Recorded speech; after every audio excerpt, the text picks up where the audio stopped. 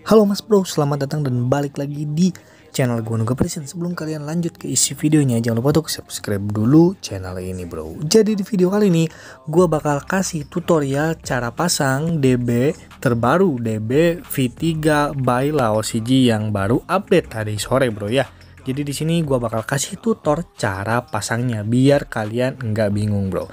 Langsung aja buat bahannya kalian bisa download di deskripsi video ataupun di pin komentar ya kalian buka aplikasi Zaxiver setelah kalian download di sini gue udah download ada dua file yang harus kalian download bro.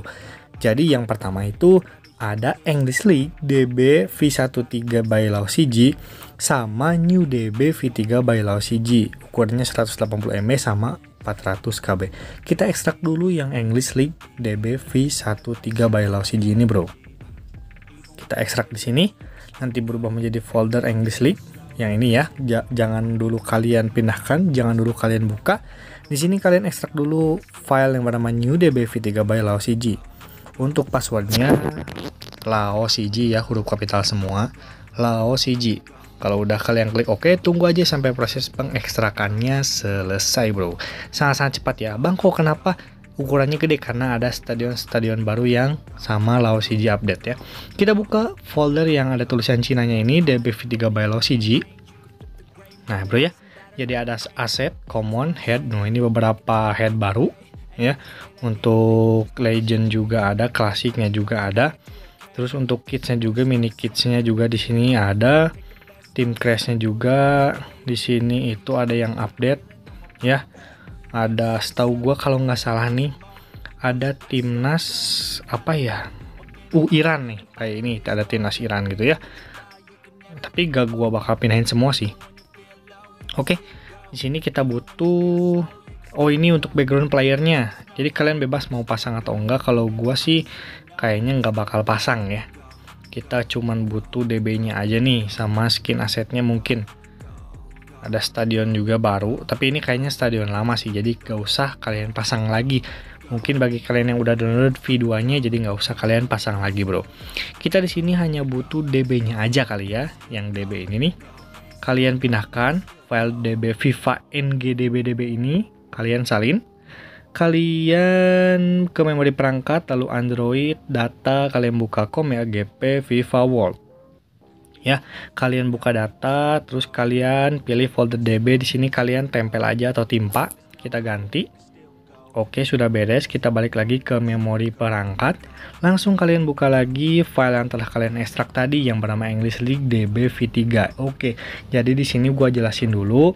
Buat kalian yang udah pasang komentator bahasa Inggris kalian gak usah rename ya si file ini.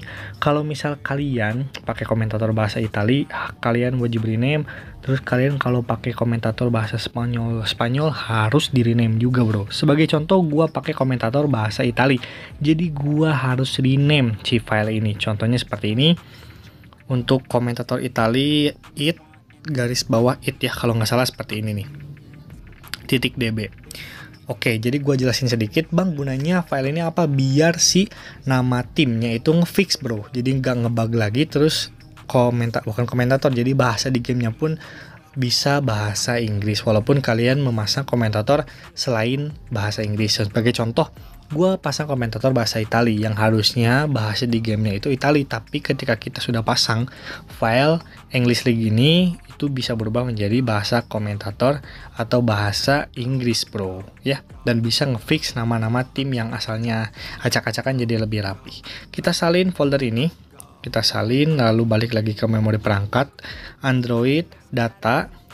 Cari folder com agp Viva World. Oh jadi gua salah rename bro. Ya kita simpan dulu di sini. Jadi untuk Itali itu ita garis bawah it ya tadi gua salah nge-rename. Sorry sorry. Nah, harusnya kalau komentator Italia itu ita garis bawah it it ya jadi ita it gitu.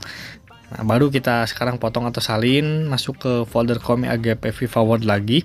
Jadi untuk bahasa lainnya, untuk bahasa komentator yang lain nanti gua bakal taruh nama skripnya di pin komentar. Jadi kalian cocokkan aja kalau misal kalian komentatornya bahasa Spanyol, ya cari aja kalian rename yang file yang English League tadi, bro. Kalau udah seperti ini kita timpa di sini, lalu kita klik ganti ya. Kebetulan gua udah punya. Kalau kalian yang belum punya filenya tinggal stempel aja, bro. Gak akan ada keterangan timpa file. Oke, bro.